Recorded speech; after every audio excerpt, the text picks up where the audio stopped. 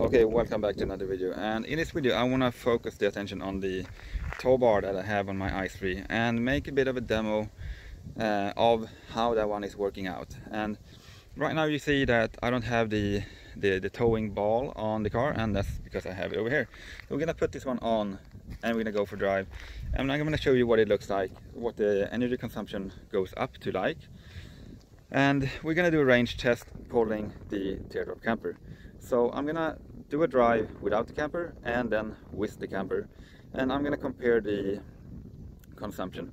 And if I have time I'm gonna do it at two different speeds just to show you which speed, how much the speed is uh, increasing the consumption. But um, long story short uh, it works really well pulling with.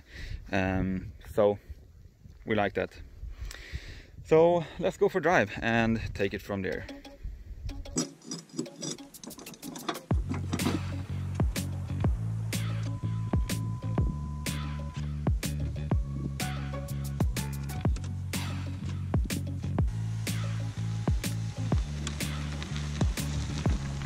Okay, so I just got everything reset to zero and we're gonna do a drive about 57 kilometers long and this is without the teardrop camper behind so we're gonna see what the consumption and range would be without that one and then we're gonna compare that so we can see how many percent extra the uh, fuel consumption is with the teardrop camper. So 57 kilometers, that's what I'm gonna drive and after that we pick up the camper and do the same run again.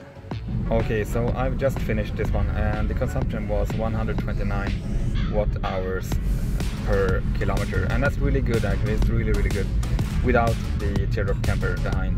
So now I'm gonna go pick up the camper and charge the car and from there we're gonna take it again. Okay, so I got the teardrop camper picked up now and uh, just started, done about 7 kilometers and so far the consumption is um, um, rather high. It's uh, 289 watt hours per kilometer, so it's really high. But it will drop down. Um, it should drop down to about 220, 230.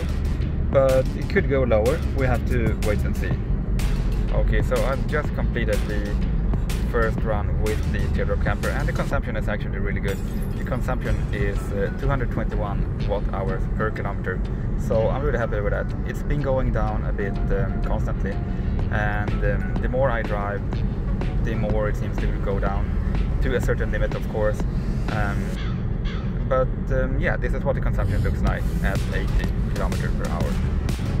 Okay so I'm doing a second test with the teardrop camper behind me and in this test I'm driving at 95 km per hour so we're gonna see what the consumption looks like if one would be to keep this speed. Okay so here it is the result from my towing test.